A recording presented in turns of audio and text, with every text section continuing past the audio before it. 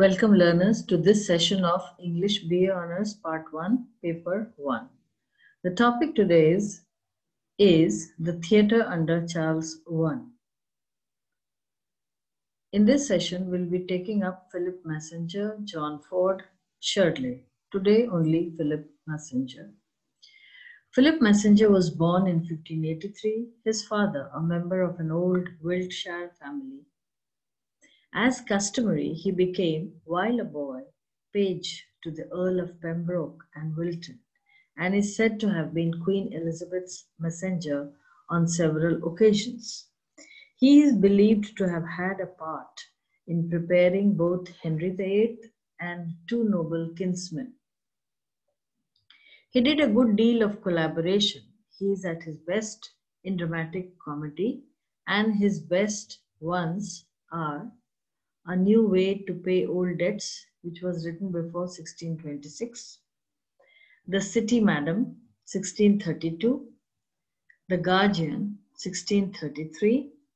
The play which had the most enduring success was A New Way to Pay Old Debts, in which the protagonist, the usurer, Sir Giles Overreach, enlarges on his hateful opinions with surprising frankness and severe violence reminding us of Ben Jonson's Volpone.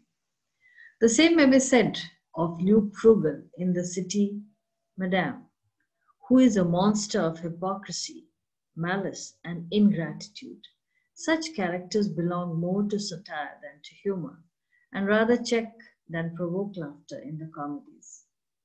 Philip Massinger's talent is best revealed in his serious plays, and they are The Fatal sorry, the Fatal Dowry, 1619, the Duke of Milan, 1620, the Unnatural Combat, 1621, the Maid of Honor, 1626, the Bondman, 1623, the Renegado, 1624, the Roman Actor, 1626, the Picture, 1629.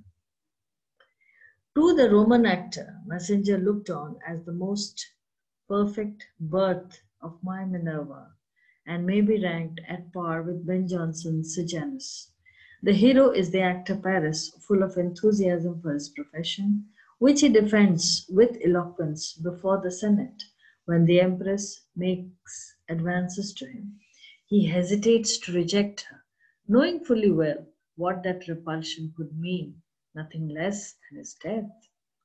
Then, thinking like an actor, he wonders what a magnificent scene it would make the actor refusing the Empress.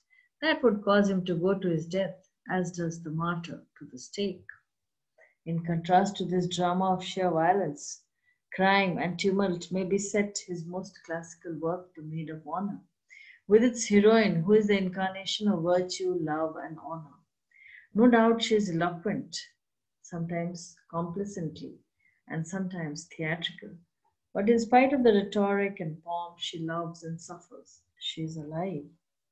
All Massinger's plays show careful workmanship. Both style and verse are strong. And this at a time when style and meter were being dislocated, often strained and monotonous, and frequently repetitive, even if not inspired. He is a conscientious writer of scenes which are massive and often noble. We'll do the other two dramatists in the next session. Thank you for now.